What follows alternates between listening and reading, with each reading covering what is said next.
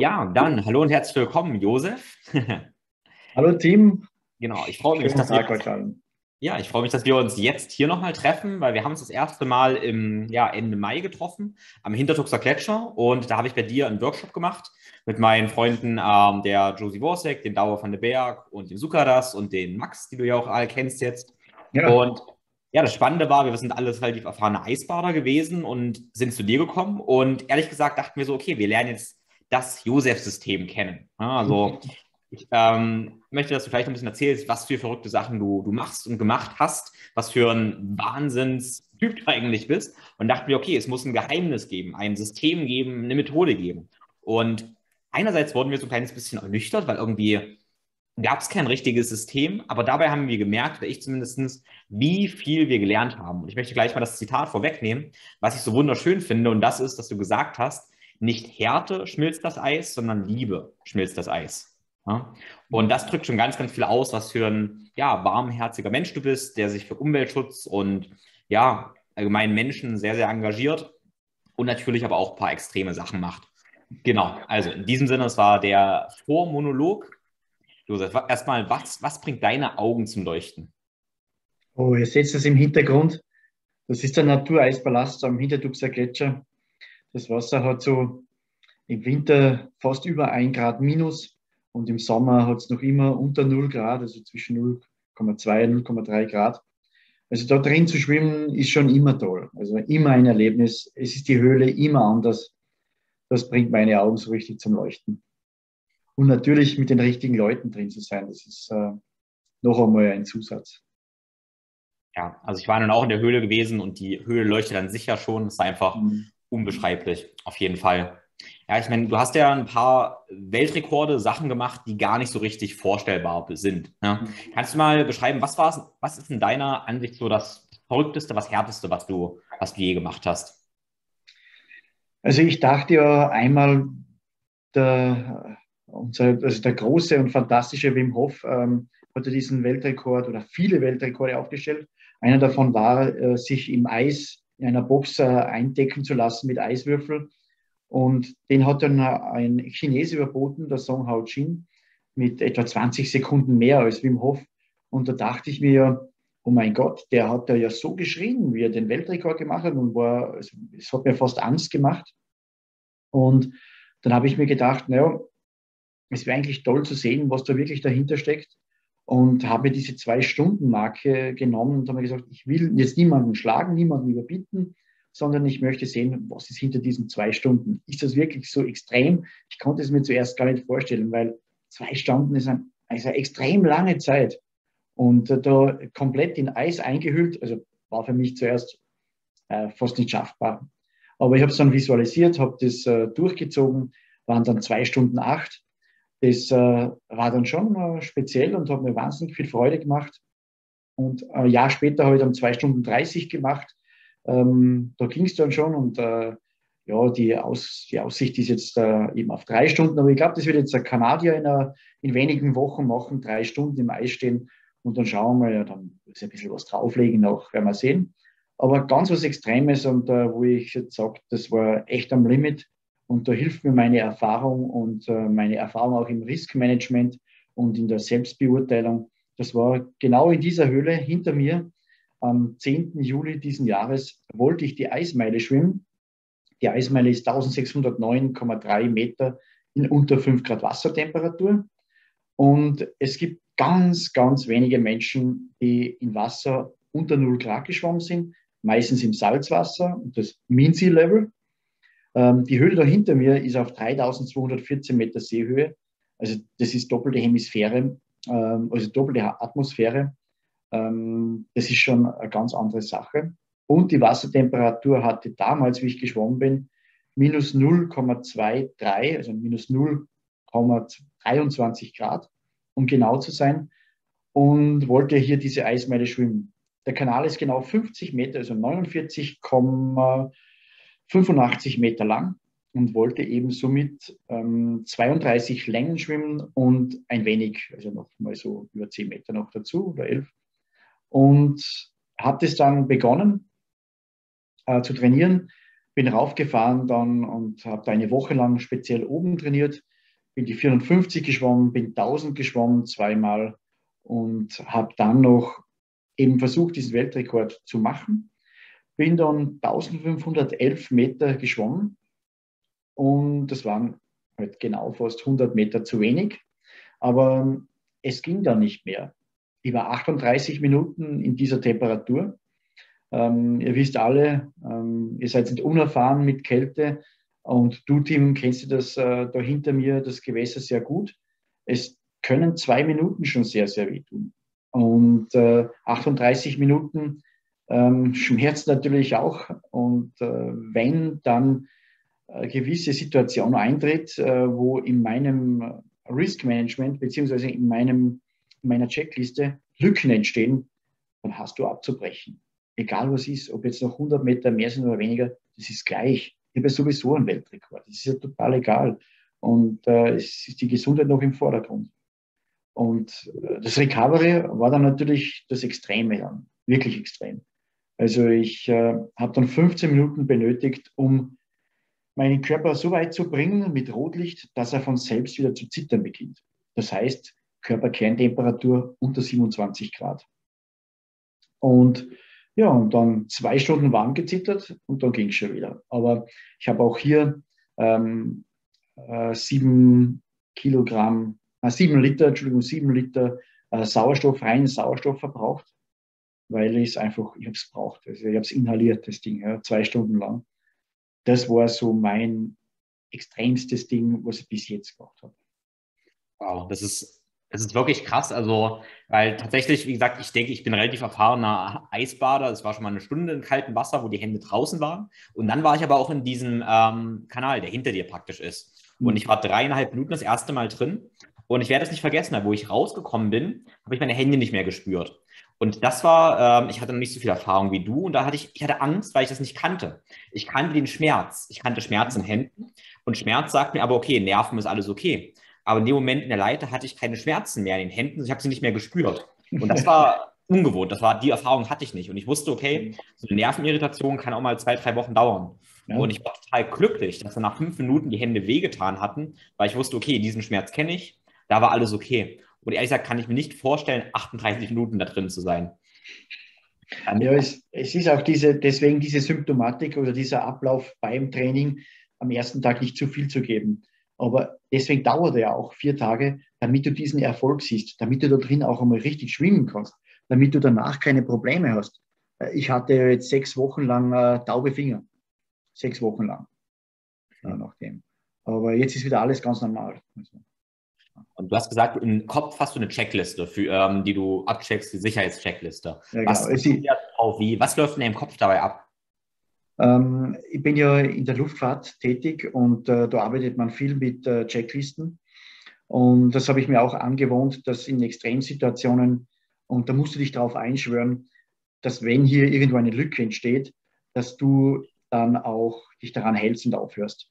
Ihr wisst ja zum Teil, dass nach einer gewissen Zeit im kalten Wasser, und vor allem wenn du auch immer den Kopf im kalten Wasser hast, äh, tritt diese Kältedummheit ein. Und die kann in Sekunden schneller kann die kommen.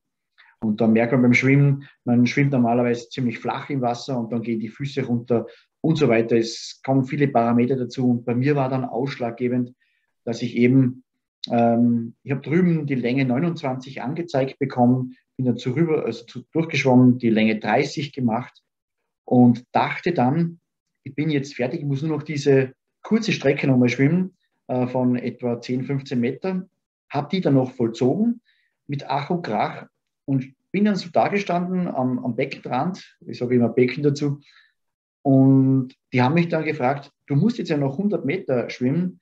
Und dann habe ich überlegt, na, wenn ich es jetzt schon immer weiß, dass ich eigentlich noch 100 Meter habe, dann darf ich jetzt nicht mehr weiter schwimmen. Und dann haben wir eigentlich keine Worte mehr benötigt. Ich bin da gestanden, habe sie nur angeschaut, habe noch ein bisschen mit den Händen gefuchtelt und dann haben sie mich rausgeholt, ja, aus dem Wasser, rausgezogen und dann war es das. Wenn du jetzt diese, dieses Vertrauen zu dir selbst und die Erfahrung nicht hast, würdest du vielleicht aufgrund dessen, dass du das unbedingt schaffen willst, umdrehen und noch 100 Meter schwimmen. Aber ich habe die letzten 100 Meter, ich habe für die drei Minuten gebraucht und das ist extrem lange. Und noch einmal drei bis fünf Minuten in dem kalten Wasser, das kann dann echt, das kann zum Tod führen. Aber das kann zu dem führen, dass du dich wirklich nicht mehr, auch mit, mit Rotlicht und allen Hilfsmitteln, nicht mehr erwärmen kannst. Und dann hat mein Arzt hat ja auch mitgehabt diesen Knochenbohrer. Also wenn du dann auch keine Venen und so mehr kriegst oder siehst, dann bohren die dir ein, ein Loch in den Unterschenkel und spritzen dir dann das Adrenalin dort hinein. Und ich habe mir ganz fest vorgenommen, das machen die nicht mit mir. du spürst es zwar nicht, aber das machen sie nicht mit mir. Und äh, habe ich ganz, ganz fest auf diese Checkliste, an, an diese Checkliste gehalten. Interessant, dass du so Checklisten ansprichst, ähm, weil ich habe vor, einer, vor, einer, vor Jahren ein Buch gelesen, was das Checklist-Manifesto hieß von okay. äh, Agul Amande, Gavande oder so. Und es ging genau darum, äh, dass in der Luftfahrt überall Checklisten verwendet wurden und dieses Prinzip der Checklisten man das überall anwenden sollte, um, mhm. wie du eigentlich sagst, Fehler zu vermeiden. Und es war genau die Geschichte aus der Luftfahrt. Schick mir dann den Buchtitel noch, das möchte ich mir nochmal durchlesen, zum genau. Rekapitulieren. Vielleicht äh, ist noch was dabei, wie ich mich verbessern kann. Also ich dachte, du kennst das, weil das so jetzt klingt, als wenn du das geschrieben hättest, ja. Na, echt? Na, also ähm, das kommt aus, ähm, aus der Luftfahrt, von, bei mir, ja, bei mir aus der Luftfahrt. Musst du dich danach noch bewegen oder wie, wie kann man sich das vorstellen danach? Also ähm, du kennst ja das, das Boot, was da drin ist, das mussten wir herausgeben. Das kam dort, ähm, wir sind drüben bei der Leiter rein, wir sind auf der anderen Stelle, auf der anderen Seite reingegangen. Dort war dann das Boot hinten in dieser Nische drin und wir hatten im Gang einen Platz von etwa einem Meter. Zehn. Da ist dann diese Bahre drin gelegen mit dem ganzen Wärmeequipment und es war extrem wenig Platz und es war sehr beengend und äh, ich konnte mich dann jetzt nicht wirklich viel bewegen es war dann kurz einmal der Moment, ob sie mich jetzt, also ist der Hubschrauber, haben sie schon rausgezogen, um mich abzuholen. Ähm, dann war diese Situation, wie bringen sie mich aus der Höhle raus? Ich kann nicht gehen. Und dann haben sie aber gemerkt, okay, ich erhole mich, es wird besser, es läuft wieder mehr, ich wärme mich auf, ich fange an zu zittern. Dann wurde das wieder weggegeben und äh, ja, nach zwei Stunden war ich dann fertig mit, mit Zittern und so. Dann bin ich ganz normal aufgestanden, dann bin ich auch raufgegangen, ähm, zum Container, wo es eben losgeht. Und dann haben wir da oben äh, eine Flasche Sekt gekillt. Und danach habe ich gesagt, ja, okay, jetzt, jetzt gehen wir noch auf diesen Berg hinauf, auf die gefrorene Wandspitze. Mit dem Herbert Bichler und der Barbara Andal sind wir da noch auf. Und äh, ja, also eine Bergtour, Klettertour noch, noch die Weltrekord. Das musste dann sein, das ist quasi der Abschluss. Aber du hast deine Hände nicht mehr gespürt. Ja, also da sind sie halt schon taub gewesen, vor allem die vorderen Bereiche. Aber das ist erst, das kommt ja erst dann ein, zwei Tage später. Mhm. Also wenn ihr, ihr könnt es ja auf dem Blog auch nachlesen, äh, im Wasser selbst hat es drei Phasen gegeben beim Schwimmen. Also dieses, wo die Hände schmerzen, wehtun und Richtung Taubheit gehen. Und dann eben der Hauptteil, wo du ähm, nichts spürst. Also du spürst einfach nichts, da kämpfst du dich einfach durch. Und dann der letzte Teil, wo es eben wieder zum Schmerzen beginnt, ist, ähm, die Kältedummheit spielt da ein bisschen einen, einen Streich. Ähm, du weißt, es geht zu Ende und die Konzentration lässt nach und schießt ein und somit kommen die Schmerzen zurück. Und die Schmerzen sind aber anders. Also die gehen so richtig auf die Gelenke, auf die Knochen, die spürst du bis in die Knochen rein. Und ich habe so eine Aus Aussage getätigt danach, ähm, du möchtest am liebsten beim Schwimmen schreien weil es wirklich, es geht in Mark und Bein. Also wenn ihr auch die Schmerzen kennt am Kopf, ähm, wenn es so richtig kalt wird, bei den ersten Male, wo du mit dem Kopf untertauchst und so, das tut dann andauernd so weh. Und es war auch dann die Höhe des Sauerstoffentzugs, der kommt dann noch dazu, dass du auch innen im Gehirn Schmerzen hast vom Sauerstoffentzug, von der Höhe. Also es ist eine Kombination aus vielerlei Schmerzen, die halt auf einmal dann wirken. Und das waren die drei Phasen und das ist halt sehr ungut. Ja aber bewältigbar, wie man sieht. Mhm. Ja, was ähm, ja, bewältigbar, das ist interessant. Was, was für Strategien hast du an Mentalstrategien, um da mit den Schmerzen, Schmerzen umzugehen? Also ich kann nur kurz äh, erläutern, wie das die ganze Woche hindurch war. Ähm, ihr kennt das vielleicht, ähm, ihr geht jetzt irgendwo hin, habt ein extrem ungutes Gefühl, also beim Training schon. Ähm, schnürt, schnürt euch den Hals zu, weil du schon immer weißt, am Ende der Woche schwimmst du da so weit, wie noch nie ein Mensch geschwommen ist. Das wird extrem wehtun und alles. Und ähm, am Tag zuvor, am Abend vor dem Weltrekord, Ich möchte mal weiter zurückgehen. Also ich bin auch jeden Tag vom Hotel runtergegangen, im, im Badhotel Kirchler, die Stiege runter und da steht ein großer Spiegel. Und ich bin jeden Tag vorbeigegangen bei dem Spiegel und habe halt so reingegrüßt aus Spaß. Und am letzten Tag, also am Tag zuvor, habe ich noch abgeschlossen mit allem. Also ich habe noch aufgeschrieben, ähm, so ein Testament noch einmal, ähm, was ich mir so wünsche, was äh, von mir übrig bleiben sollte, wenn es nicht klappen sollte, ja, wie man es halt so macht. Ähm, da auch viel durchgegangen, äh, abgeklärt. Das mit dem Knochenbohrer ist mir im Kopf gewesen. Und äh, ja, dann geschlafen, gut geschlafen eigentlich. Am Morgen runtergegangen, beim Spiegel vorbeigegangen. Es hat mich geschreckt. Ich bin nochmal zurückgegangen. Ich hatte eine total andere Körperhaltung als sonst. Also ich war so, vielleicht kennt ihr das, so aggressiv. Ich will das jetzt. Egal was ist. Ich bin fokussiert auf das. Ich will das jetzt machen. Ich schwimme da um jetzt einen Weltrekord. Und so ging es mir auch dann die ganze Zeit rauf. Ich war total ruhig, total gefasst, um ähm, noch Scherze gemacht und rein ins, äh, in die Höhle, habe mir umgezogen und du weißt, alle anderen sind teilweise halt nervös, ist große Verantwortung und und und. Alle haben ihren Job irgendwie gemacht, toll gemacht. Das Team war herrlich und haben alles vorbereitet, aber waren halt schon nervös. Also es ist, steht ja mein Leben auf dem Spiel. Ähm, aber da war ich der extrem ruhende Pol.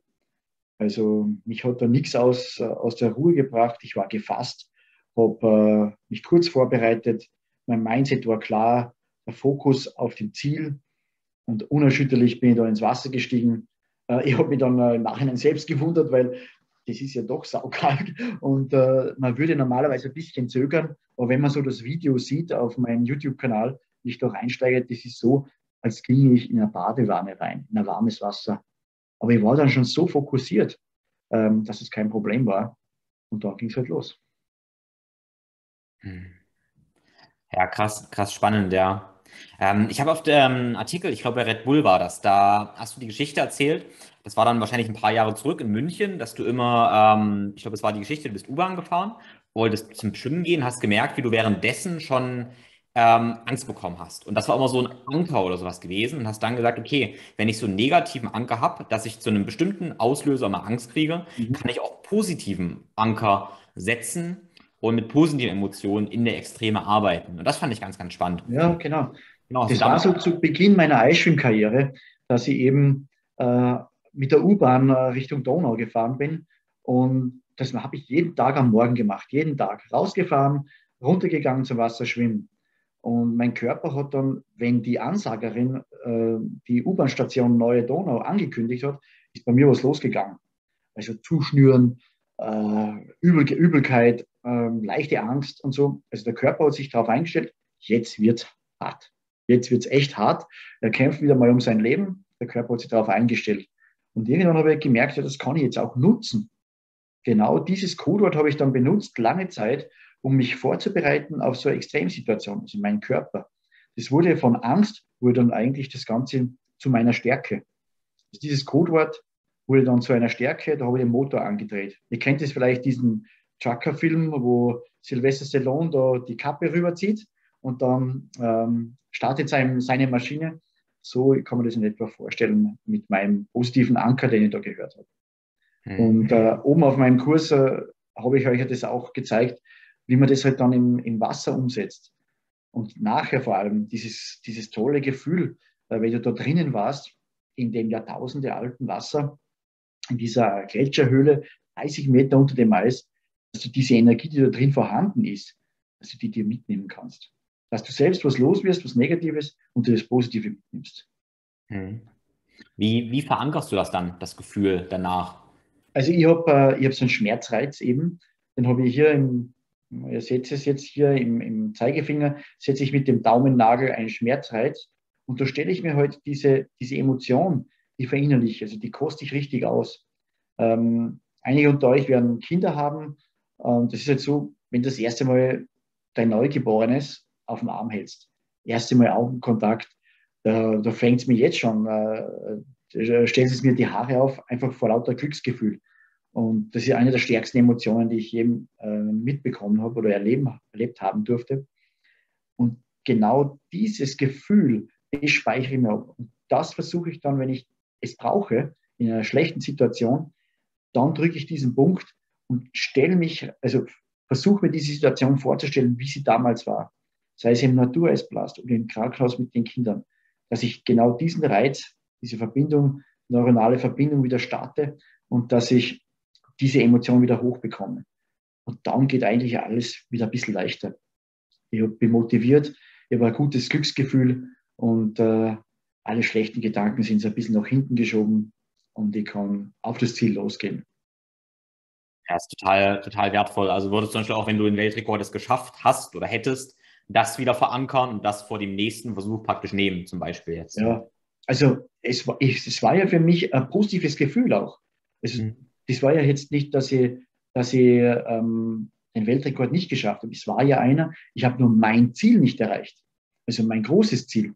Ähm, für mich war es ein Sieg. Also für mich war es ein Sieg. Ich konnte mir das vor Jahren, wo ähm, ein guter deutscher Schwimmer mir gesagt hat, geh doch darauf, da ist es eine, eine, tolle Location zum Schwimmen und zum Trainieren.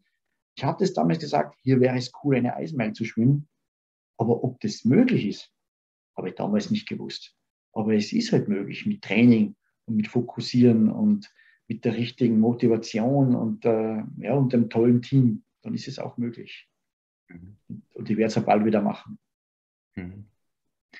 Ich finde es total interessant, bei solchen Sachen drüber nachzudenken, äh, mit dem Thema Angst. Also, erst, also die Frage, ähm, die ich stellen werde, ist, inwiefern du Angst hast und wie du die Angst dann bewertest. Weil, also ich persönlich habe jetzt nicht so extreme Sachen gemacht wie du, aber ich kenne dann das, äh, wenn ich Angst habe, aber ich weiß, es ist eigentlich alles okay. Und dann kann ich da auch ganz gut rübergehen. Dann gibt es aber diesen Punkt, wo auch mein Verstand einschätzt, okay, ich habe Angst und es kann wirklich was passieren. Und dann ist diese Angst halt realer als eine Angst, wo ich äh, wo mein Gehirn sagt, okay, passt eigentlich alles so. Mhm. Weißt du, was ich meine? Also ähm, wie gehst du mit der Angst um und wie, also wie schätzt du auch eine Situation vielleicht ein, wo du nicht weißt, ob du sie richtig einschätzen kannst überhaupt?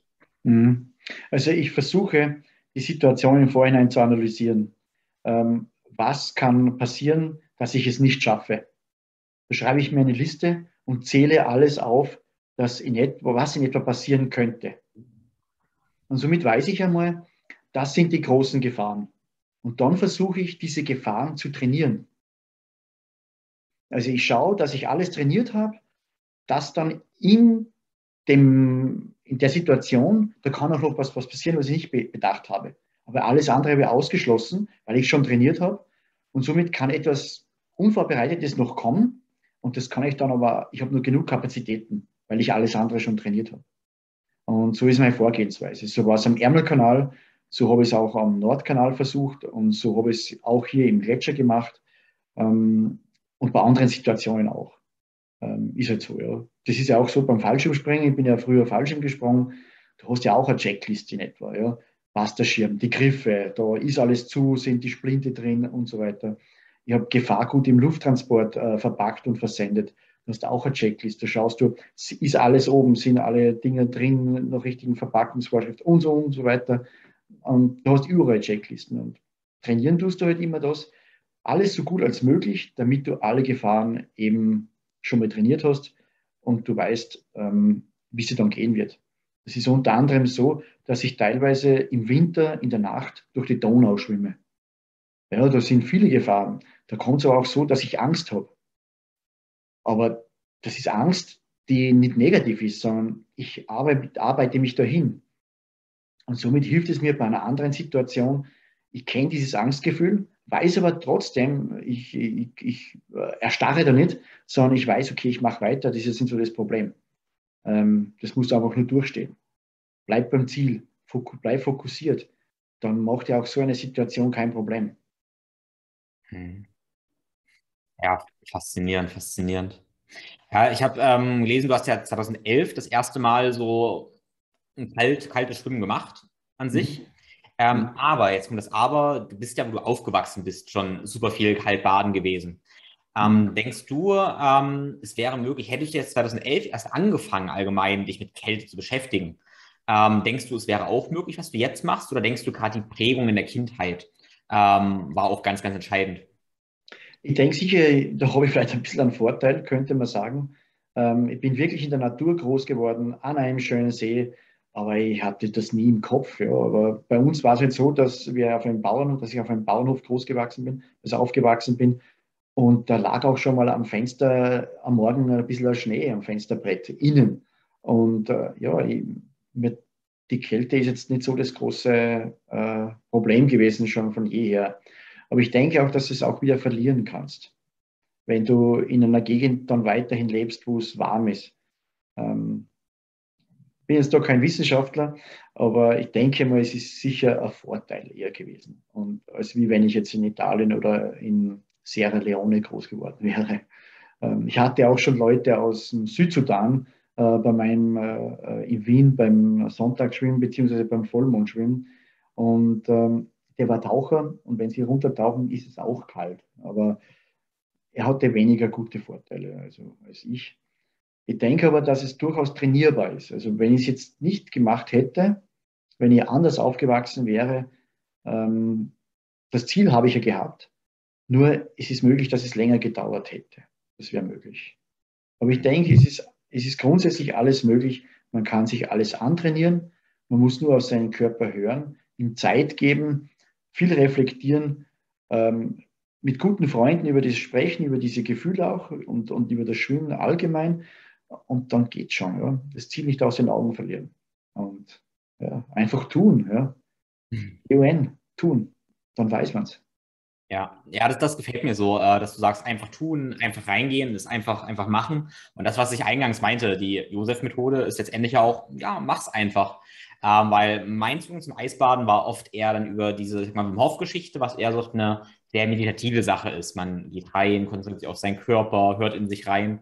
Und du hattest, glaube ich, erzählt, du hast es auch so gemacht und hast dich so ein bisschen gelangweilt. Du bist reingegangen und dachtest, na, muss ich ja irgendwas machen. Ja. Muss, ich, muss ich ja schwimmen.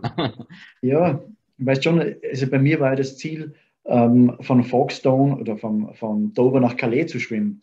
Und jetzt gehe ich ins kalte Wasser und äh, Italiener haben mir gesagt, ich soll reingehen ins kalte Wasser. Ja, reingehen, jetzt bin ich da drin. Ja, was mache ich jetzt? Hm.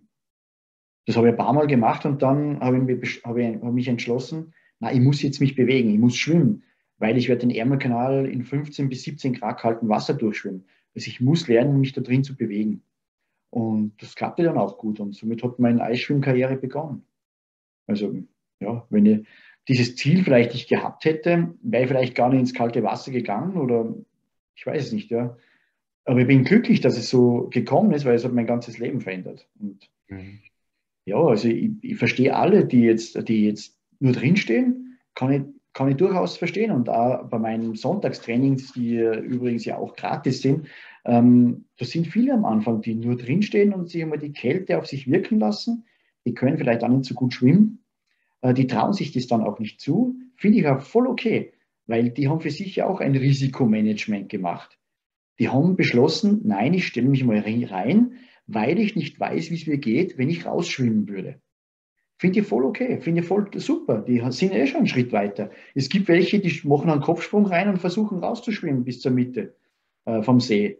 Ja, dass das nicht klappt, das ist verständlich. Also somit muss ich sagen, die sind eh sehr klug und versuchen schrittweise das kennenzulernen, eine Rückmeldung zu bekommen und Vorsicht ist äh, immer besser, als dann äh, irgendwie was beheben müssen ja.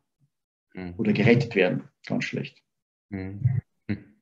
Ja, ja, ich finde es wichtig, da verschiedene Perspektiven zu haben und auch ein bisschen spielerisch ranzugehen.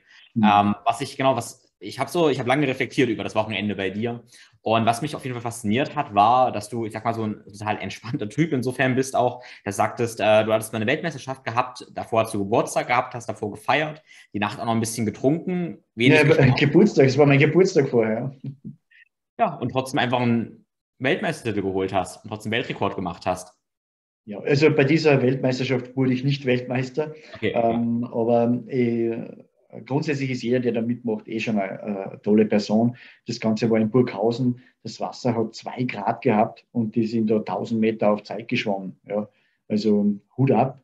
Äh, ich wusste, dass ich, ich hatte einen Tag zuvor meinen Geburtstag, äh, war noch bei meiner Schwester, die hat mir Torte gebacken. Das ist bei uns an diesem Tag immer ein großes Fest. Und für mich war jetzt äh, Weltmeister zu werden war keine Option, äh, war nicht vorstellbar. Ähm, äh, ja, und das muss man auch genießen können. Ähm, man muss nicht immer verbissen hinter Meter und Sekunden sein, sondern ja, ich bin ein normaler Mensch wie alle anderen und die haben das äh, locker lässig heran und ja. Mhm. ja ich finde die auch toll, die jetzt um den Weltmeistertitel mitschwimmen. Also die sind ja super tolle Athleten und Hut ab. Ähm, wenn mein Tag da ist, dann bin ich auch voll fokussiert. Ja, mhm. ja also für mich war das, was ich mitgenommen habe, dass ähm, also ich persönlich mache, also ich optimiere oft Sachen kaputt. Ich mache mir so viele Gedanken, dass ich da Spannung aufbaue, zu angespannt mhm. bin und dann eigentlich mehr schlechtere Leistung auch erziele. Ne? Mhm. Und bei dir hat man das so schön gesehen, was ich eigentlich auch ständig erfahrungsgemäß habe. Wenn ich mich entspanne, ähm, halt auch mal fünf gerade sein lasse, dann habe ich plötzlich auch viel bessere Leistung. Obwohl, und ich habe nichts kaputt optimiert. Das finde ich so, so ganz, ganz spannend. Mhm. Ja, ich sage mir auch, ähm, Weltrekord, ja, wenn ich es nicht schaffe, ja, was soll ich machen? Ähm, im Nordkanal war ich 15 Stunden bei 13 Grad Wassertemperatur und ich habe es halt dann leider nicht ganz geschafft. Ja. Das wäre toll gewesen, aber ich hätte nicht noch 10 Stunden weiter schwimmen können. Die Strömung war gegen mich, die Natur ist stärker. Was soll ich machen? Ich habe mein Bestes gegeben, bin stolz auf mich, dass ich überhaupt so weit gekommen bin und äh, gegen die Natur, was soll ich machen? Ja, die ist stärker als ich. Und das finde ich auch gut. Eine Rückmeldung von der Natur bekommen der Mensch kann nicht alles schaffen. Die Natur ist einfach stärker. Und deswegen bin ich auch so dafür, dass wir die schützen. Weil irgendwann äh, wird die zu aggressiv und wir vernichten sie und ähm, da kommt nichts Gutes bei raus. Die gibt uns das zurück. Hm. Ja, und ich meine, da ist ja, was im Hintergrund sehen, gerade den Gletscher, den, ja, die Gletscherschmelze ist ein gutes Zeichen dafür, ja. Hm. Ja. Ähm, engagierst du dich da oder wie, wie bist du da? Wie setzt also, du Also, ihr habt es eh gemerkt, so äh, beim Kurs selbst, ich zeige euch so ein bisschen die Schönheit der Gletscher mhm. und versuche halt auf, auf euch, auf die Teilnehmer einzugehen und denen klarzumachen, dass es halt ähm, besser wäre, da mehr zu achten drauf. Das ist schon, ja, ich weiß, in der Stadt wäre ich oftmals belächelt, wenn ich mich äh, hinbücke und irgendwo eine Bettflasche aufhebe und dann in den nächsten Mistkübel schmeiße. Ja. Aber ähm, würden das alle machen, beziehungsweise die gar nicht am Boden hinwerfen, dann wären wir schon einen Schritt weiter grundsätzlich. Ja, das ist jetzt nur ein, ein, ein kleines Ding, aber das soll halt im Kleinen entstehen und dann ins Große übergehen. Ähm, wir brauchen nicht die großen Lithium-Ionen-Akkus. Wir müssen nicht ähm, die Kohlen verbrennen. Es gäbe auch andere Möglichkeiten und wir müssen nicht immer so auf Profitgier sein, weil äh, das bringt nichts. Ja. Wir zerstören unsere Umgebung. Ähm, wer leert sich schon ähm, Wasser in sein eigenes Bett und geht dann rein schlafen? Das ist ja ungemütlich. Wer zerstört seine Wohnung und will dort wohnen? Also, weiß es nicht. Äh, ähm, die Menschheit ist ein bisschen eigenartig. Ich habe gerade heute ähm, ähm, die Geschichte des Terrors vorgetragen ähm, am Flughafen Wien. Ähm, ja, das ist kein schönes Thema, aber äh, auf Minderheiten oder generell auf jemanden anderen oder auf die Umwelt nicht zu achten, macht uns ja selbst zu den Verbrechern und zwingen praktisch andere ähm, zu Terroristen zu werden oder den Terrorismus zu frönen, weil die haben keine andere Chance, sich zu wehren. Ja, die haben natürlich auch ihre Hintergründe wie Gier und so weiter, aber grundsätzlich sind sie ja benachteiligt worden in irgendeiner Weise. Sei es in Südafrika ähm, in der Apartheid die Afrikaner, die Schwarz, äh, die, die farbigen äh, Menschen unten, oder sei es im, im, in Afghanistan jetzt oder Irak oder sei es in Syrien oder gutes Beispiel Israel. Ähm, wenn wir alle miteinander gut auskommen würden, ähm, dann gäbe es das alles nicht. Ja? Und so ist es auch mit der Umwelt. Wenn wir uns alle darum kümmern würden, Profit runterschrauben, dann wäre es auch besser. Aber ja, der Mensch ist halt anders als wie Tiere. Nicht immer zum Vorteil. Mhm. Ja, stimmt, da kann man viel ja, von der Natur oder auch von so einem Gletscher lernen. Also wo ich da war oder allgemein, wenn ich in Bergen bin und spüre die Natur, sehe mich mhm. als, ein, als Teil der Natur, dann, wie du sagst, also einmal ist das Gefühl, ich bin machtlos, also es ist ganz viel Demut erstmal, es ist ganz viel Demut gegenüber der Natur da, sie ist mächtiger als ich. Mhm. Ähm, ganz ehrlich, wenn ich da sterben würde in, diesen, in dieser Höhle, das würde die Natur ja gar nicht interessieren. Ne? Das würde die gar nicht interessieren. Es spielt gar keine Rolle. Ich spiele keine Rolle. es gibt keinen Artikel in der Naturzeitung. Genau, ja, eben. Da, ja, und dann ist es alles so schön, dass man sich dann nach so einer Perspektive, nach so ein paar Tagen oder allgemein eigentlich meiner Meinung nach mit ein bisschen offenen Augen durch das Leben geht, sich gar nicht vorstellen kann, wie man ähm, ja so viel Unheil anrichten kann. Ich hatte zuletzt ähm, den Dani mit. Äh, der Dani ist aus Deutschland, äh, ist blind und hat eine leichte geistige Einschränkung, aber er ist auch da rein. Er ist auch über Leitern als Blinder runtergestiegen. Er ist ins Wasser rein über Leitern. Ich war bei ihm im Wasser. Ich habe ihm geholfen. Und er ist jetzt nicht so weit geschwommen, aber er hat es geschafft. Er hat sich gesteigert. Das erste Mal reingehen, über blind überstiegen, Unsicherheit und so weiter. Ähm, also da denke ich dann schon, ah, wie stark, wie stark kann man wirklich sein? Ähm, das alles, die ganzen Einschränkungen, die er hat, über Bord zu werfen, aus dem einen Grund, er will das auch erleben, so wie wir anderen auch alle. Weil meistens ist es so, dass sie ja nicht alles erleben können, das was auch wir erleben. Und für mich ist es auch sehr wichtig, dass ich, so wie den Dani, die Möglichkeit gibt, dieses Erlebnis zu haben. Und ähm, das macht mich dann auch stolz, weil du bekommst ja sofort eine Rückmeldung. Äh, von diesen Menschen bekommst du sofort eine Rückmeldung, die freuen sich wahnsinnig, die sind extrem stolz auf sich und äh, es ist ganz einfach herzlich. Es, ist, äh, es gibt mir viel zurück. Mhm. Ja, du hast, du hast vorhin so schön gesagt, die Kälte und das Eisschwimmen hat dein Leben verändert. Mhm. Ähm, ja, welche Aspekte hat es denn verändert? Wie beschreibst du das? Boah. Viel eigentlich. Ja. Also alleine, ich habe den Arbeitgeber gewechselt. Ich war zuerst beim Militär. Bin jetzt im Klimaschutzministerium. Ähm, bin nach, aber nach wie vor in der Luftfahrt. Dort war ich auch in der Luftfahrt in Teilbereichen. Ähm, ja, es, ich, bin, gehe jetzt Richtung Selbstständigkeit. Ähm, ich habe mir Ziele gesetzt, verfolge die auch akribisch und ich versuche mir durch diese Arbeit und durch den Übergang in die Selbstständigkeit für mich mehr Raum und Zeit zu schaffen, um noch mehr mich einzusetzen für die Dinge, die mir wichtig sind. Und das hat schon in gewisser Weise das Eisschwimmen bei mir bewirkt. Also eine Klarheit zu bekommen, was ich will, so klar wie das Eiswasser ist, so messerscharf, wie du deinen Verstand schärfst im Wasser, im kalten Wasser, so hat es mich verändert. Immer mehr fokussierter zu werden. Den Weg zu finden aus einem Beamtentum Richtung hin zur Selbstständigkeit. Also bei mir hat sich so viel getan und es tut sich noch viel mehr. Und ich finde diese Zeit so extrem spannend und freue mich auf jeden Tag. Erlebe jeden Tag jetzt wie ein Abenteuer. Es tut sich immer was Neues und äh, ja, bin gespannt, was die nächsten Tage bringen. Mhm. Ja, das ist total, total schön, weil die Effekte, die du beschreibst, das, das klingt einfach großartig. Und die meisten Leute, gerade so in meiner, ähm, meine Zuhörer, die denken bei Kaltbaden so an, ich bilde braunes Fett, ich verbessere meine Körperkomposition, ich schütte mehr Dopamin, habe bessere Stimmung und machen das so irgendwie wissenschaftlich. Als ja. wissenschaftlich, genau, und als Gesundheitsmaßnahme. Ja. Und bei dir ist so viel mehr dabei. Also klar, wenn du sagst, du hast so einen scharfen Geist, dann könnten wir ja sagen, okay, dein, du stößt deshalb Dopamin, Adrenalin aus und hast deshalb diesen scharfen Geist, aber offensichtlich es interessiert dich gar nicht so, weil warum auch? Ja, warum auch eigentlich, ja. Also mir geht es eher so, mein Motto ist ja jeden Tag ein Abenteuer. und dieses Eisschwimmen ist ja nicht nur Abenteuer, so die äußere Wirkung auf mich oder das Erleben, das Wilde irgendwo runterhauen oder ins Eis gehen, sondern das, was in mir drin abspielt, sich abspielt. Dieses Abenteuer im Herzen, in meiner Seele, dieses Gefühl, diese Emotionen, es ist ja, ja, welche, immer welche äh, Hormone da gerade mitspielen. Ich finde es einfach toll, das erleben zu dürfen und das vielleicht anderen weiterzugeben.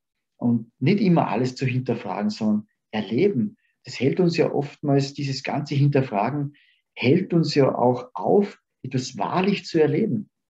Äh, oftmals muss man etwas am Handy festhalten, damit man es nachher anschauen kann. Anstatt dass man das Handy mal weglegt und es einfach genießt.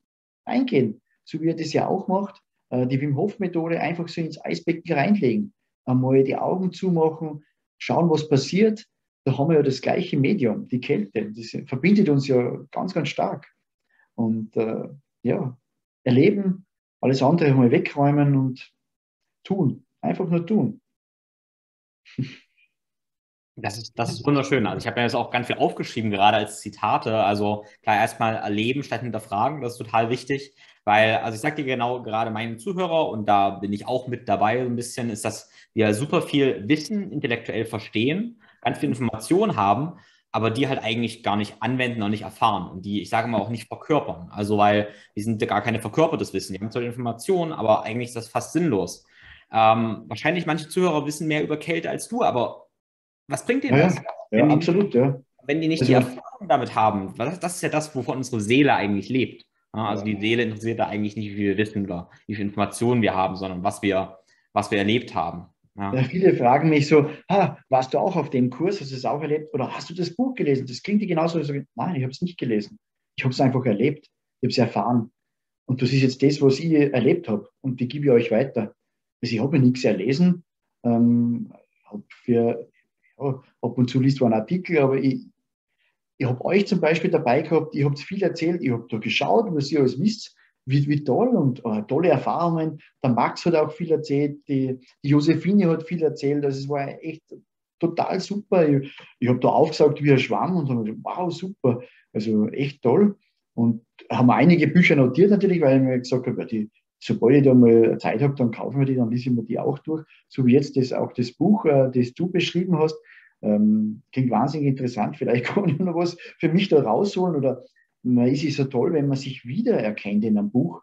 Und äh, ich bin ja auch gerade am Buch schreiben.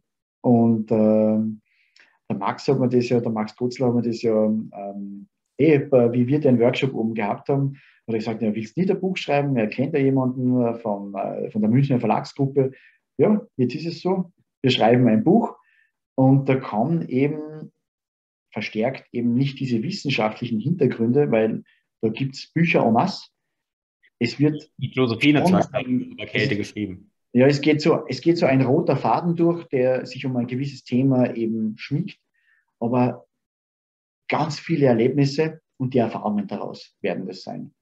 Ähm, der rote Faden geht durch, der wird am Anfang auch äh, beschrieben, dass man sich an diesem Faden, Faden orientieren kann.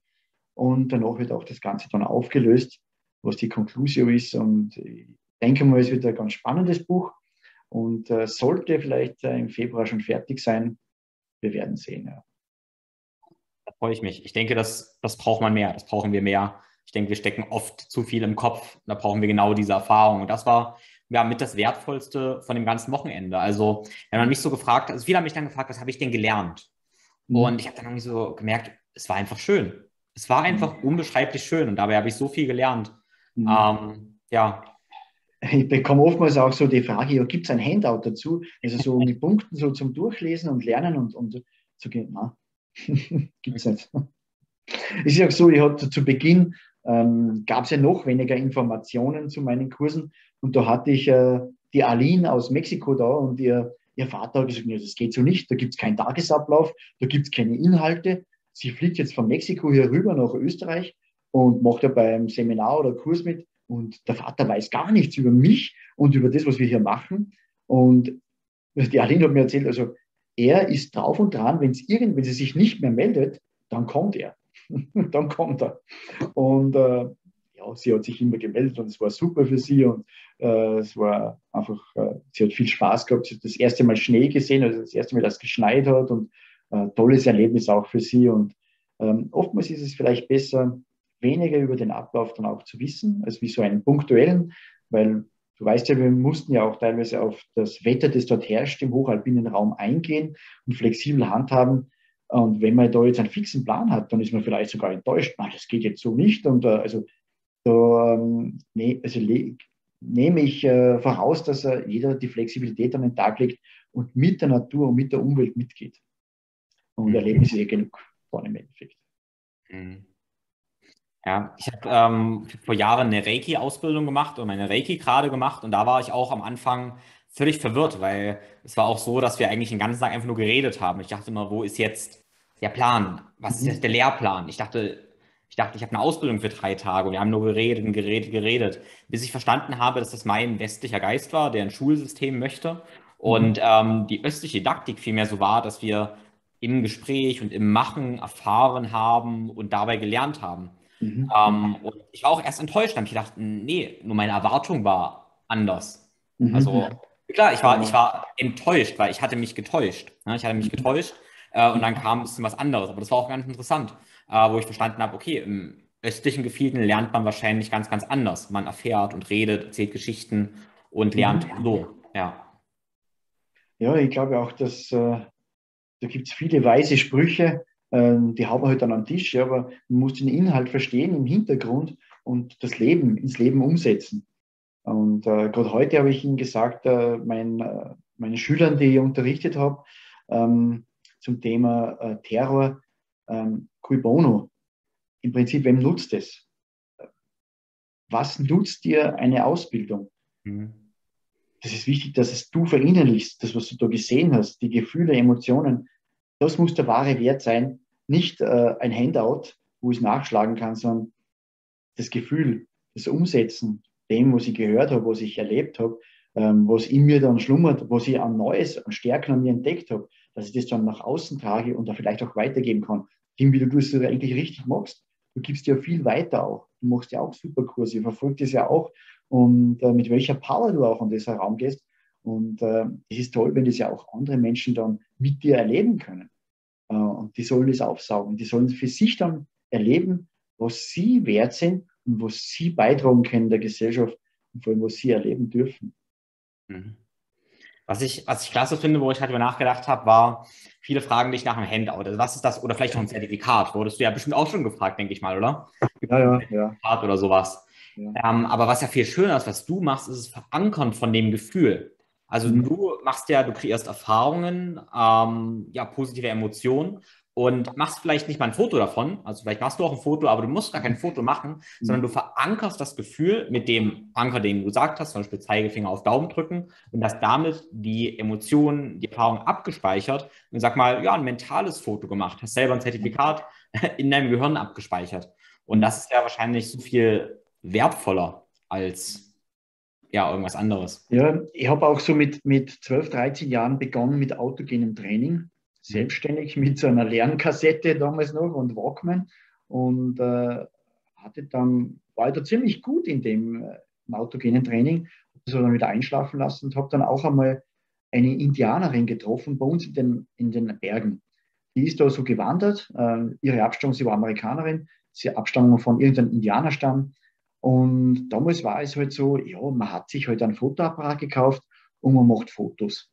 Und sie hat dann, weil ich mit ihr ein Stück gegangen bin, sie hat mir dann gesagt, na, sie hat kein Fotoapparat, sie macht hier keine Fotos. Wenn sie etwas hier sieht, dann raubt sie nicht dem, was sie sieht, den Geist, sondern sie sieht es und sie merkt sich das. Sie hat dieses Bild vor sich. Sie kann sich das merken.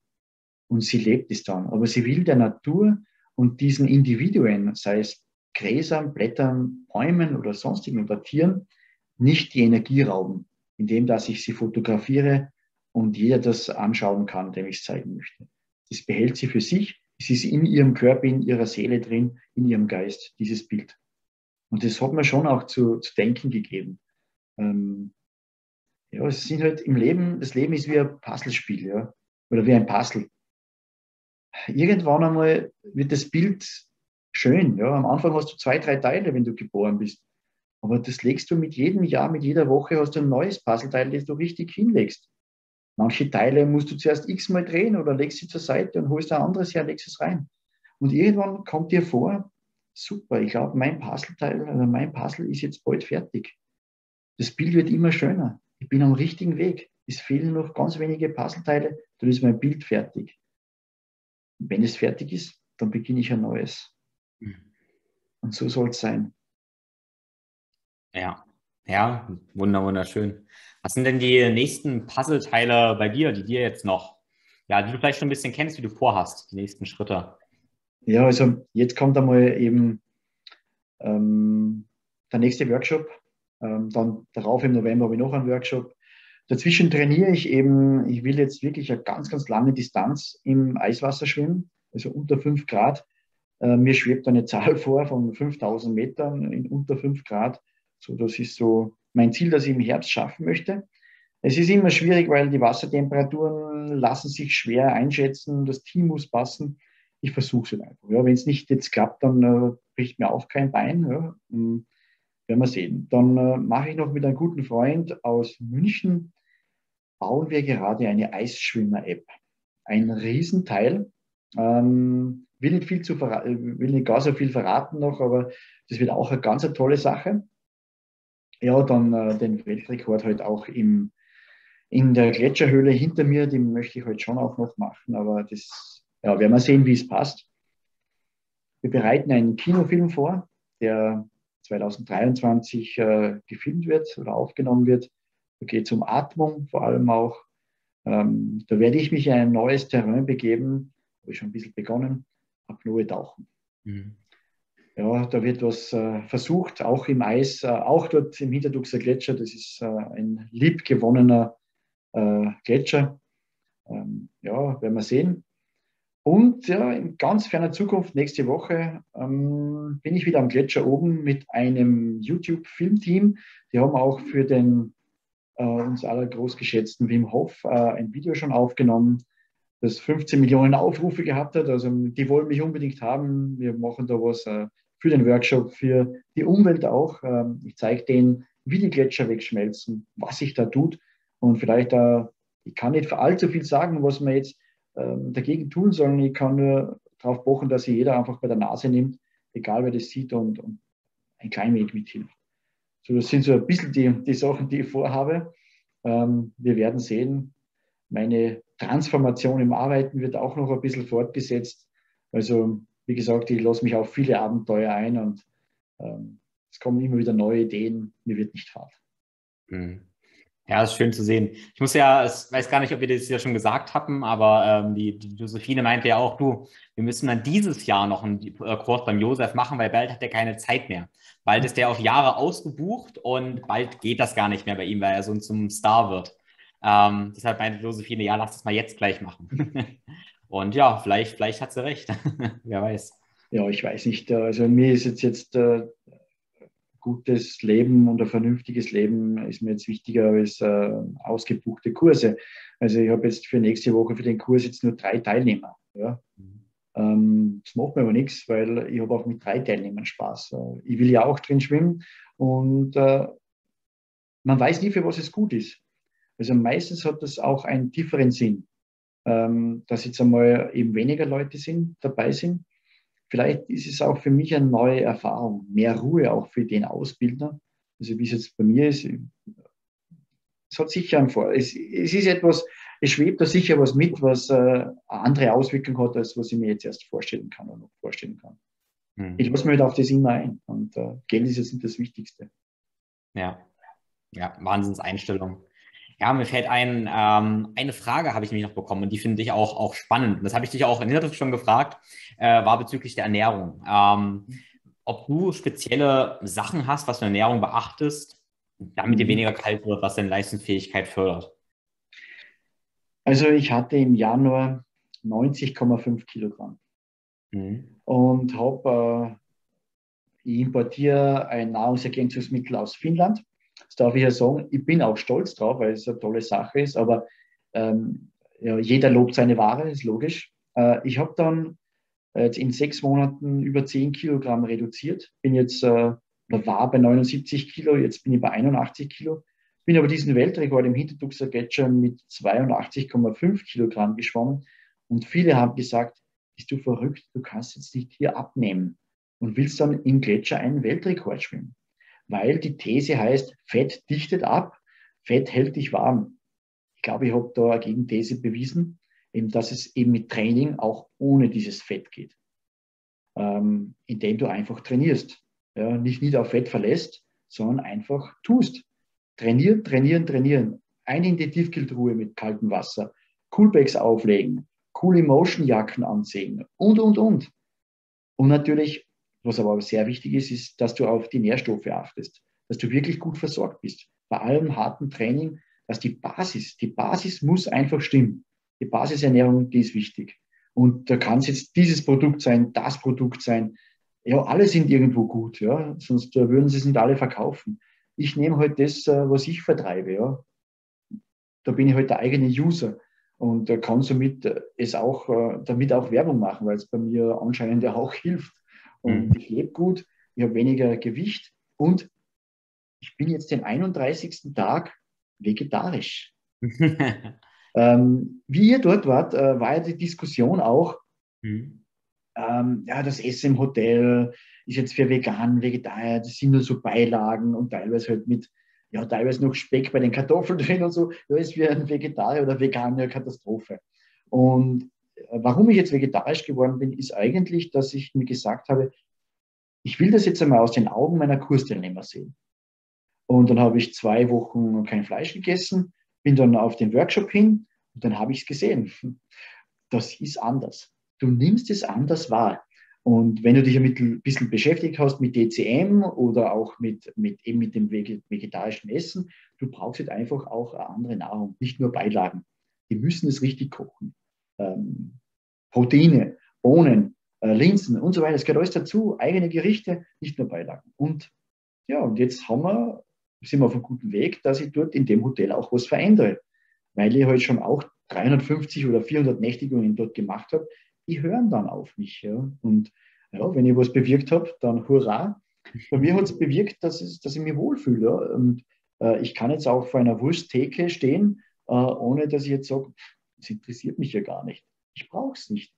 Wobei ich da schon ein bisschen einen Vorteil habe. Ich glaube, ich habe dieses, dieses Gen, äh, des, ähm, der, der, also dieses, dieses, wie soll ich sagen, dieses Abhängigkeitsgen nicht. Also mhm. ich könnte jetzt Alkohol trinken, ich könnte rauchen, aber nächsten Tag brauche ich es nicht mehr. Ich kann mhm. jetzt laufen 200 oder 100 Kilometer in der Woche. Ich brauche es dann nicht mehr. Also ich habe dieses Gen, habe ich nicht. Ähm, ich bilde mir was ein, mache einen Plan, ziehe das durch und wenn es vorbei ist, ist es vorbei. Ähm, und vegetarisch, das gefällt mir momentan. Ich erlebe ja auch neue Geschmäcker. Ich versuche Neues zu kochen. Und das ist auch ein Erlebnis, auch ein Abenteuer.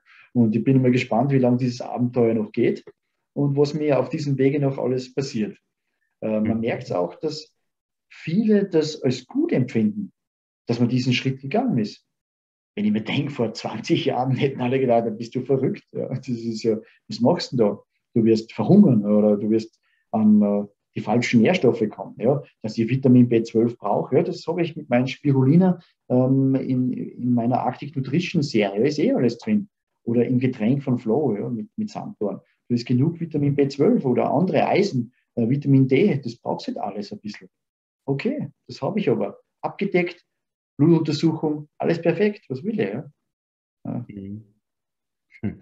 Ich glaube, ein ganz großer Aspekt ist, dass du dabei auch einfach das liebst und so leicht dabei bist und dann wird es auch funktionieren. Ähm, bei diesen ganzen Ernährungsthemen, wo ich jetzt gar nicht groß rein möchte, praktisch, äh, machen sich viele Sorgen und zerdenken so viel. Und ich glaube, dann passieren auch viele schlechte Sachen. Äh, weil man es einfach macht mit viel Leichtigkeit und Lockerheit, dann also ich glaube, dein Körper macht das auch einfach locker. Der, ja, also, ich verstehe viele Richtungen. Vieles ist für mich okay, wenn das jemand probieren möchte. Ich denke mir halt immer, wenn er jetzt das nimmt oder wenn die Person jetzt das so macht, wie geht es ihm jetzt besser? Also was hat sie jetzt bei ihm getan, dass er jetzt sagt, das ist das Beste und jetzt bin ich weiter oben, als was ich vorher bin? Hm, da, da bin ich mir nicht sicher. Ähm, das kann ich oftmals nicht erkennen. Ähm, mhm. Ich denke mir halt, okay, jeder soll sich wohlfühlen, jeder soll Spaß dran haben, ähm, aber ich wüsste jetzt auch nicht, dass mich da jetzt irgendwas flashen würde. Ja, ich fühle mich wohl. Ja, aber dass ich jetzt übersteigertes Selbstbewusstsein hätte deswegen ähm, und andere damit infizieren will, das will ich gar nicht. Mir geht es gut mit dem, was ich mache. Wenn ein anderer sagt, ich will es auch probieren, ja, okay, äh, dann machst du es aber ich verstehe auch alle anderen Philosophien. Mhm. Also wie gesagt, ähm, soll Spaß dabei haben. Das ist das Wichtigste. Mhm. Ja, schön. Also ich denke, das ist auch langsam ein guter Abschluss, weil ich, das Thema jetzt, was du jetzt gerade sagst, das ist das gleiche Thema, was sich so durchzieht. Du sagst, es muss erfahrungsgemäß funktionieren, muss Spaß dabei haben. Mhm. Und ich glaube, diese gerade Ernährung, überall reden wir viel oft drüber, äh, werten wahr oder falsch mit dem Verstand von Fakten und sowas. Und ich frage mich auch dann, ja, funktioniert es denn aber eigentlich? Dann merke ich, okay, nee, eigentlich funktioniert es gar nicht. Vielleicht haben sie sogar irgendwie recht oder so. Sie haben irgendwie recht, weil es logisch klingt, aber es funktioniert nicht. Und in diesem Punkt hat es überhaupt keinen Sinn mehr. Brauchen wir eigentlich gar nicht weiterreden. Ne? Und was für dich funktioniert, ähm, das, damit hast du irgendwie recht. Ne? Mhm. da schließt sich das Kreisrichtung, der Kreisrichtung Eisschwimmen, also auf seinen Körper hören, äh, zulassen, versuchen und man findet dann irgendwann einmal das Richtige. Ja? Das ist nicht gesagt, dass jetzt das das Richtige ist, sondern du merkst es selbst, wenn das das Richtige ist. Und mich hat es halt jetzt erwischt. Also, ja? also auch eine Erkenntnis. Vielleicht gibt es in fünf Jahren was Neues. Ich weiß es nicht, aber momentan fühle ich mich einfach wohl ähm, und bin extrem stressresistent. Also ich arbeite oft 20 Stunden am Tag, habe aber trotzdem Spaß und fühle mich wohl. Mhm. Und äh, ja, so gehe ich meiner Tage. Sehr schön. Ja, also du hast äh, mich, also uns auf jeden Fall motiviert. Ähm, ich weiß nicht, ob ich das offiziell sagen darf, aber ich tue es einfach trotzdem. Also wir haben uns vorgenommen, nächstes Jahr so einen, irgendeinen Eisschwimmwettkampf mitzumachen. Ob es oh. deutsche oder österreichische Meisterschaft ist, also nichts Extremes, keine Eismeile, kein, kein Kilometer oder sowas. Wir wollen einfach nur zusammen da mal Spaß haben und das machen. Äh, was genau und wo genau wissen wir noch nicht, aber ja, Josie, Dauer und Max, wir haben gesagt, wir wollen das mal machen und wollen einfach ein, ein schönes Abenteuer zusammen machen. Also ich will ja keine Werbung machen, mhm. aber wir haben in Österreich jetzt zwei, zwei Wettkämpfe, kann man sagen. Ähm, einen bereits am 11. Dezember in Hallstatt, also in Obertraun am Hallstätter See. Ähm, da wird es noch nicht so 5 Grad und weniger haben, so schätzen wir eher so 7 Grad. Aber das ist gerade der richtige Wettkampf, um einzusteigen. Wir gehen mhm. bei 25 Meter, das kann jeder. Staffelbewerbe macht wahnsinnig viel Spaß. Ähm, dass einer gewinnen muss, das ist klar. Aber die Gruppe, wir haben auch Hot Tubs dort, also zum Nachher reinsitzen und äh, wohlfühlen, Sauna dabei, also ein bisschen so diesen Eis-Spa-Feeling äh, erleben. Und wir haben am 15. Januar in Altenwörth auch noch einmal eine Meisterschaft. Das ist hier in der Nähe von Wien, äh, auch ganz toll. Da machen auch mit, es gibt den österreichischen Betriebssportverband. Das heißt, das ist ein Verband, der geht zu Firmen hin und äh, macht mit denen Sport. Zeigt ihnen Neuigkeiten, lädt sie ein zu Trainings und so. Und da sind wir dieses Jahr dabei, ab Herbst. Wir können zu Firmen gehen und können denen das Eisschwimmen, die Kälte näher bringen und wollen somit auch Krankenstände reduzieren, den Leuten ein Wohlbefinden geben und einfach eine neue Türe für die auftun und einfach besser zu leben, neues Abenteuer zu erleben und eine gute, coole Gemeinschaft zu finden, äh, wo jeder toll aufgenommen wird. Mhm. Ah, schön. Ja, das klingt wunder, wunderbar. Ja, ich freue mich auf, auf alles, was kommt. Ähm, wie für mich für dich ist die Frage, wenn es jetzt, ähm, wenn es einen riesen Aufsteller gäbe, den jetzt plötzlich die halbe Welt sehen könnte und die ganze Welt von mir aus mit einem Spruch von dir drauf, was wäre die eine Nachricht? Ich sag mal, im Super Bowl Halbfinale würde jetzt laufen und die ganze Welt würde Super Bowl schauen. Was wäre die eine Nachricht, der eine Satz, den du draufschreiben könntest? Naja, du kennst den eh. ähm, das hat immer das mit der Liebe, also eben nicht, äh, nicht, nicht Härteschmilz das sondern Liebe. Und ich denke, wenn wir das alle in jedem Bereich eben mit Liebe mehr sehen würden, und äh, dann ging es uns allen besser. Ja. Und als Nachsatz, jeden Tag ein Abenteuer. Yeah! Das würde ich gerne so stehen lassen. Allerdings äh, ein was, was ich noch mitgenommen habe vom Wochenende, war die großartige Aussage, äh, wo wir irgendwelche Sachen vergessen hatten. Man kann mangelnde Ausrüstung immer durch Härte kompensieren. das ja. habe ich auch mitgenommen, das fand ich gut. Ja. Lernen durch Schmerzen. Lernen durch Schmerzen, genau. Ja. Ist ein alter Militärspruch. ja, dann, also vielen Dank, Josef. Und ich hoffe, wir ja. sehen uns ja vielleicht im Winter auf irgendeiner Eisschwimm-Weltmeisterschaft. Ja, ich freue mich natürlich, wenn dein Buch rauskommt und wenn die Doku rauskommt. Das teile ich natürlich alles immer sehr, sehr gerne. Genau, damit mehr Leute davon erfahren. Super, freue mich sehr. Ja, danke auf jeden Fall. Euch wünsche ich viel Erfolg im Eis und habt Spaß dabei und macht es mit Liebe. Ja, danke. Ciao.